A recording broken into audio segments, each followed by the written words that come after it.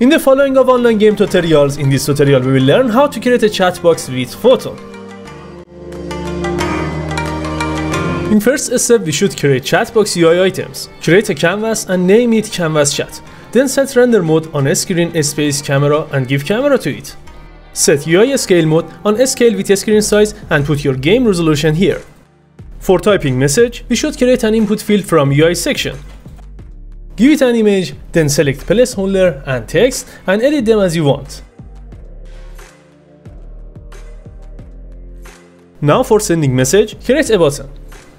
Put it next to input field and change its size and picture as you want. Now we should create a section for displaying all messages. So create a scroll view. Change its size as you want and place it above input field. Then give it a picture. Uncheck horizontal box in scroll rect and remove these two childs of scroll view. And make viewport size same as scroll view size. Now select content. Content is an object with which which messages are going to become its child after producing. Add vertical layout group component and set this option on upper center. And from this section by holding Alt, place content in the top center of scroll view. Add another component called content size fitter and set vertical fit on preferred size. Now let's create messages. Add child of content, create an image for messages background. And also create a text for message text and set desired font and size for it. And change image name to message.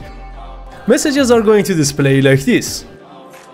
They are too close to each other, so select content and increase spacing a bit. Now increase number of messages.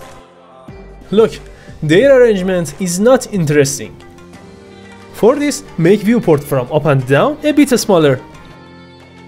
And at last, this is how the messages look like. Remove all messages except one cause we don't need them. Let's start coding. Create a script called message. In it use unityengine.ui. Now for messages text, define a text called my message. Give a script to message object and give text to my message.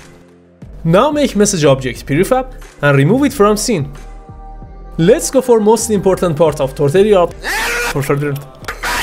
tutorial. I mean send and receive message.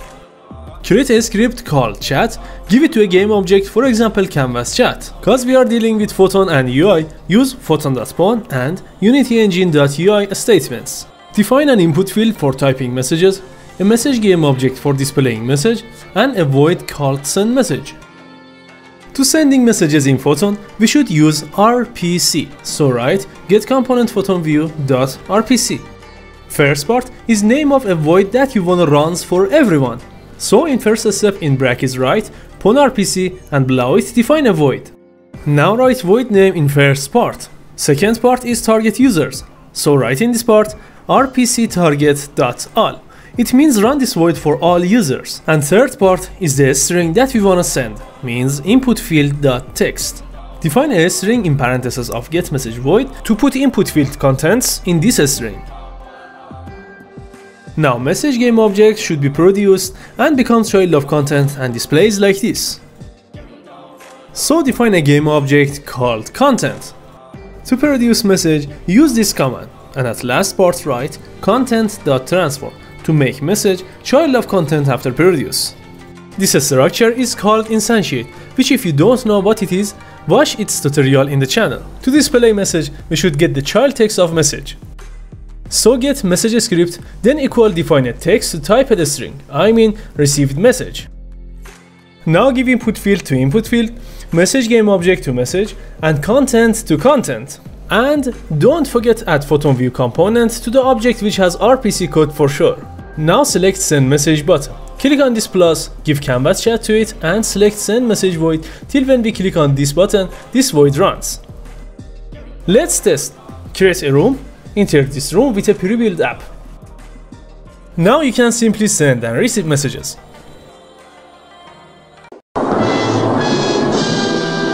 Here has some points. First of all, after sending message, input field text should be deleted.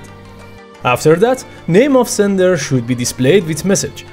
And third point is, new messages should be displayed above all messages. For displaying message above all messages in message script at the start, use this code. For sending the name, you should add defined username next to input field, which we talked about it in a tutorial in channel. Put a column between them to create a space between them. And last part is emptying input field, which we should write input field.text equal to an empty double quotation. It's done. Now all users of a room can chat with each other, their name displays next to their messages, and new messages will appear above another messages. Thanks for watching, don't forget to like and subscribe us, thank you.